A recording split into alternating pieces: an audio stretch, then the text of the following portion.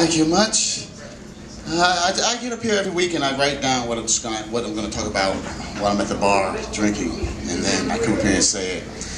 Uh, if you want to see what happened the weeks before, catch me on YouTube at Willie Sawyer II or the AQ Observer. For now, let's talk about last week.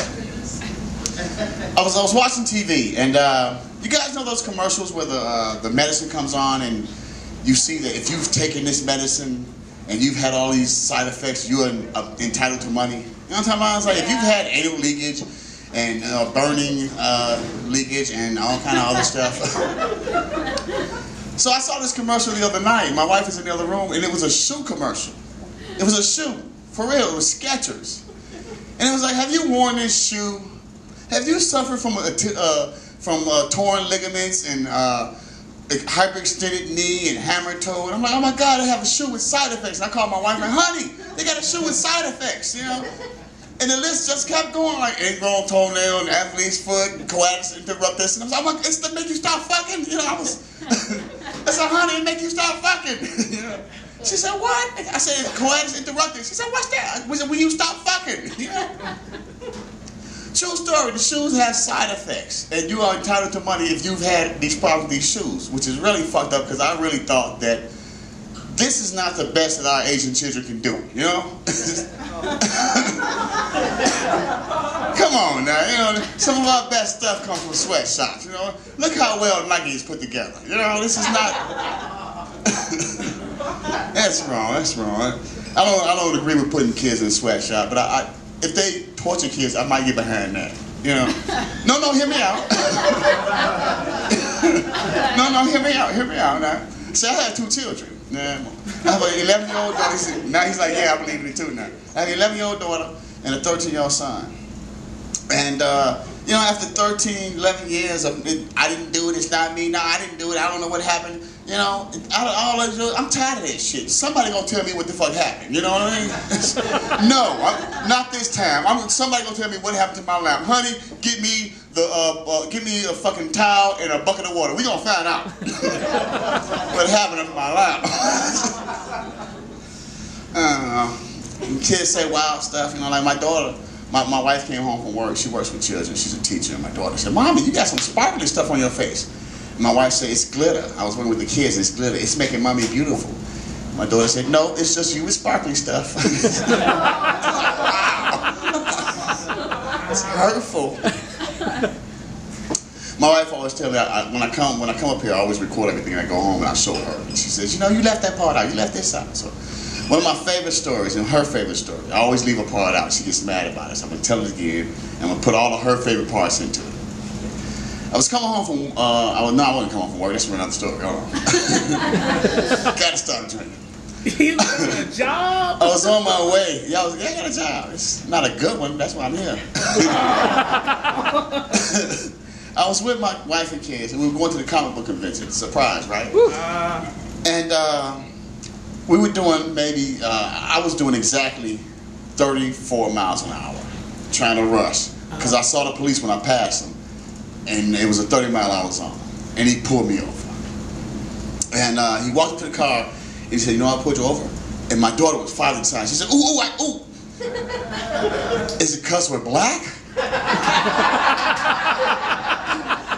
and the cop was like, sir, just, just go. I don't, sir, just enjoy your day. And I don't know if he was mad or shocked that she got on the first try. I don't know what it was.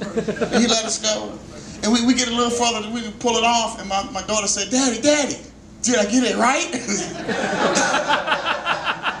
yeah, baby, you got it right. it's bad when you feel bad about telling somebody they're right. That's fucked up. I hate racial problems, you know, because I'm mixed, so I can't be racist, you know. I'm I'm, I'm part white, part black, part Native American. What am I going to do? Hate myself?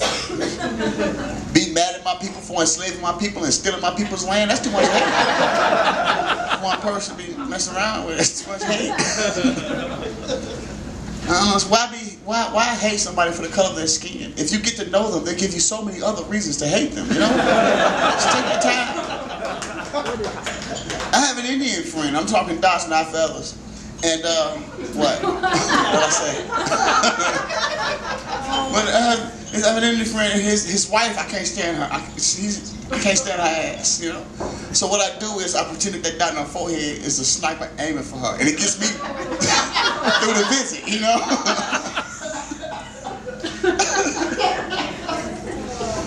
oh my goodness.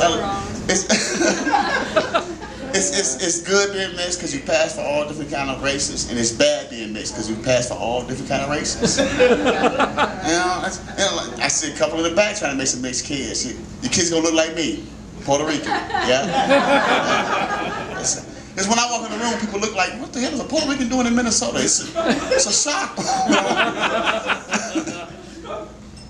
But it's, it's, it's hard being mixed, you know, when you're different races, because you like, I, I, go to the airport, I just take my shoes when I walk in the airport, and I just take them off right there. Because I know I'm getting searched. I look like everybody, you know? If they're looking for uh, a Mexican, I'm getting searched. If they're looking for an Assyrian, I'm getting searched.